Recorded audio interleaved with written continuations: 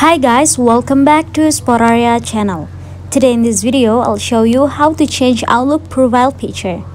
But as always, before you continue this video, I hope you like, comment and subscribe to Spotarya channel and don't forget to hit the notifications bell. So without any further ado, let's get started. Well, firstly, here I'm gonna open the Outlook web.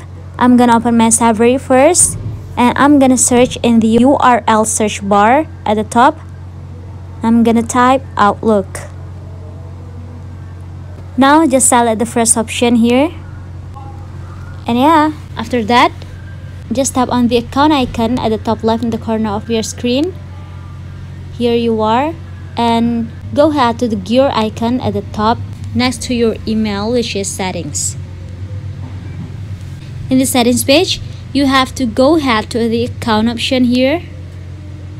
And tap on view account.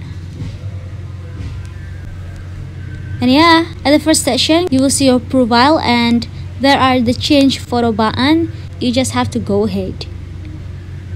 You can remove this photo but if you want to change your photos you have to tap on the add a photo here at the first option. And yeah it will be a pop-up.